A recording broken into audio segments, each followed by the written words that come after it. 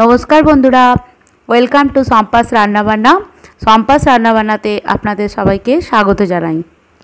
রোজের নিত্য নতুন রেসিপির আপডেট পাওয়ার জন্য সম্পাস রান্নাবান্না চ্যানেলটিকে আপনারা সাবস্ক্রাইব করুন আর পাশে থাকা নোটিফিকেশান বেলটি ক্লিক করতে যেন ভুলবেন না। বন্ধুরা, আজ আমি বানাবো আমাদের সকলের প্রিয় ইলিশের একটি অন্যতম রেসিপি দই ইলিশ। এটি গরম ভাতের সাথে খেতে অসাধারণ লাগে। আর খুব কম উপকরণে সহজেই বানিয়ে ফেলা যায়। তাহলে আর দেরি না করে এই দই ইলিশ কীভাবে বানানো যায় চলুন দেখে নেওয়া যাক। প্রথমে এখানে আমি চার পিস ইলিশ মাছ আগে থাকতে ধুয়ে নুন হলুদ লাগিয়ে রেখে দিয়েছি।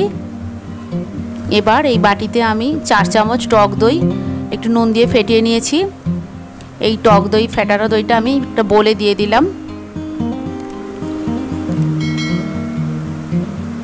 দইটা কিন্তু ভালো করে ফেটিয়ে নিতে হবে। এবার দু চামচ পোস্ত বাটা দিয়ে দিলাম।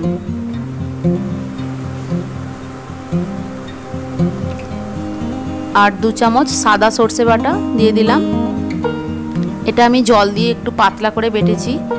এবার পুরোটা ভালো করে আমি মিলিয়ে নেব। ভালো করে এটা ফেটিয়ে নিতে হবে। এবার আমি হাফ চামচ হলুদ গুঁড়ো দিয়ে দিলাম। আর হাফ চামচের মতো চিনি দিলাম। আর স্বাদ মতো নুন দিয়ে দিলাম।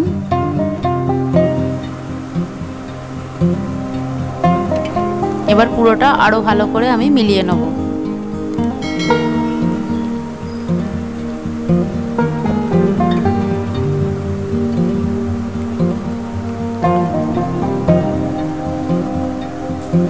ভালো করে মেলানো হয়ে গেছে। এবার আমি কাঁচা সর্ষের তেল এক চামচ দিয়ে দিলাম।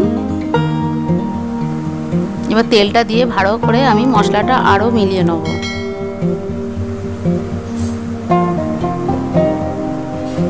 এবার আমি মাছগুলো এই মশলার মধ্যে একটা একটা করে আমি দিয়ে দিলাম।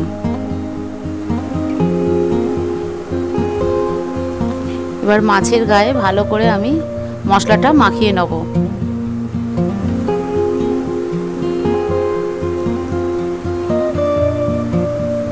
ভালো করে মাখিয়ে নিয়েছি আমি। এবার আমি 30 মিনিটের জন্য একটু ঢাকনা দিয়ে রেখে দেবো। এবার 30 মিনিট হয়ে গেছে। এদিকে আমি কড়াটা গ্যাসে গরম করতে দিয়েছি। আর এই মশলা মাখানো মাছটা আমি দিয়ে দিলাম এই গরম কড়াতে।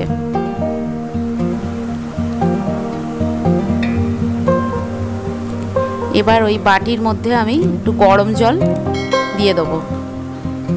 এটা কিন্তু গরম জলই দিতে হবে। তাহলে স্বাদটা ভালো আসবে।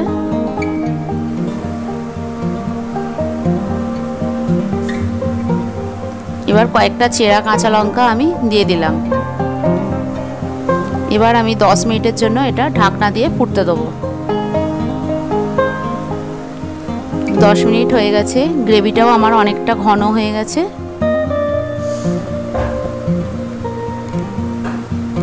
এবার আরও এক চামচ কাঁচা সর্ষের তেল দিয়ে দিলাম। রান্নাটা আমার রেডি এবার আমি এটা নামিয়ে সার্ভ করব।